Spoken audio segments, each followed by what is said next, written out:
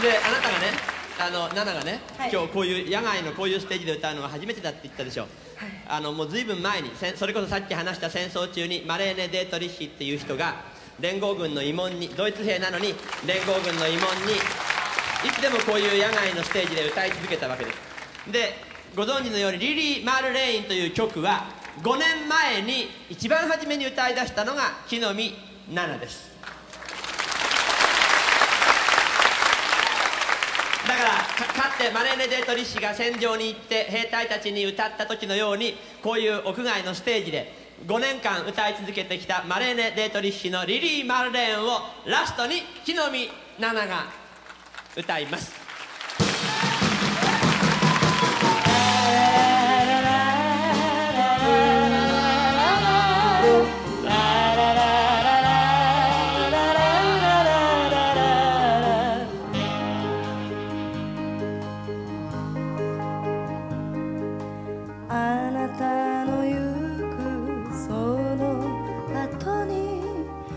ついてい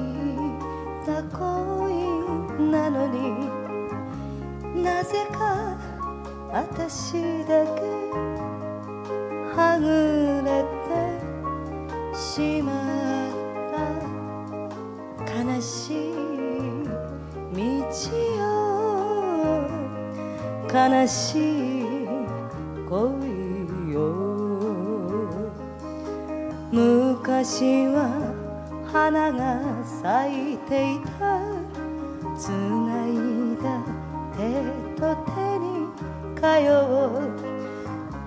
愛の言葉さえどこかに落とした。悲しい道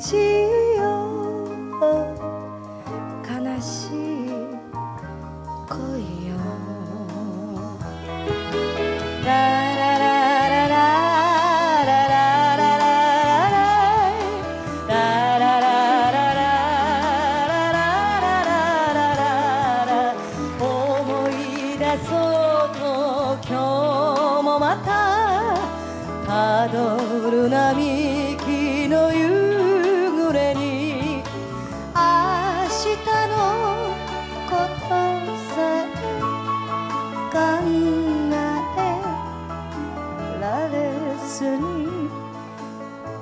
悲しい道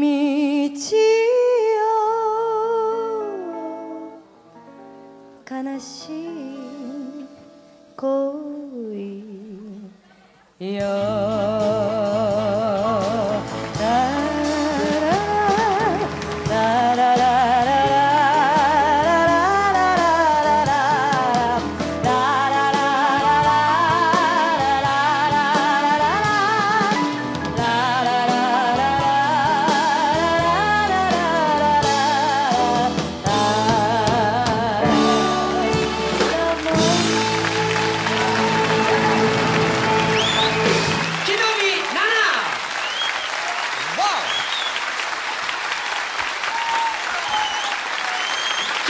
そして横内将事カルテット